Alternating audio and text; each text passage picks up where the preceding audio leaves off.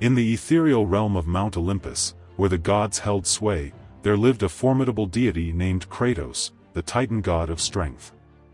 Born to the Titan Pallas and the primordial goddess Styx, Kratos possessed an indomitable spirit and a physique that surpassed even the mightiest of his kin. As a child, Kratos roamed the desolate landscapes of Tartarus, the underworld prison where his father was confined. Amidst the darkness and despair, he honed his strength and agility, becoming a formidable warrior. When the Titans rose against the Olympians in the Titanomachy, Kratos fought valiantly alongside his father and brothers. Despite their immense power, the Titans were ultimately defeated by the Olympians. Kratos, along with his siblings, was imprisoned in the depths of Tartarus, where he languished for centuries. However, his spirit remained unyielding, and he vowed to one day avenge his fallen kin.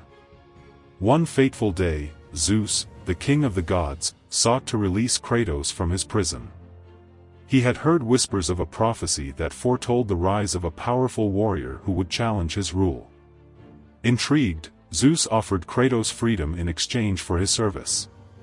Driven by a thirst for vengeance and a desire to prove his worth, Kratos accepted Zeus's offer.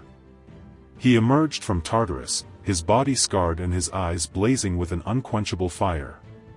Zeus bestowed upon him the blades of chaos, twin blades forged in the fires of the underworld, which became his signature weapons. Kratos embarked on a perilous quest to hunt down and destroy the remaining titans. He traveled across the realms of Olympus, facing countless challenges and overcoming insurmountable odds. His strength and determination were unmatched, and he became a legend among both gods and mortals. As Kratos's power grew, so too did his arrogance. He began to question Zeus's authority and sought to usurp his throne. A fierce battle ensued between the two gods, each unleashing their full might. In the end, Kratos was defeated and cast back into Tartarus. Undeterred, Kratos escaped his prison once more and sought revenge against Zeus.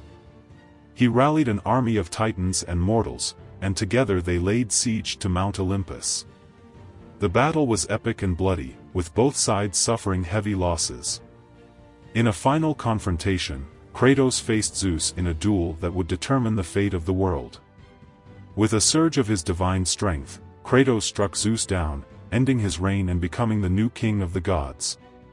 As the dust settled, Kratos stood alone on the summit of Mount Olympus. He had achieved his vengeance, but at a great cost. The war had left him weary and disillusioned. He realized that true power lay not in conquest or domination, but in compassion and understanding. And so, Kratos abdicated his throne and retreated into solitude. He wandered the realms, seeking redemption for his past actions. He became a protector of the innocent and a guide for those who had lost their way. And as the centuries passed, the legend of Kratos, the titan god of strength, lived on. He became a symbol of both the destructive and redemptive power that resides within all beings. And though his name was forever etched in the annals of history, his true legacy lay in the lessons he taught about the nature of power and the importance of compassion.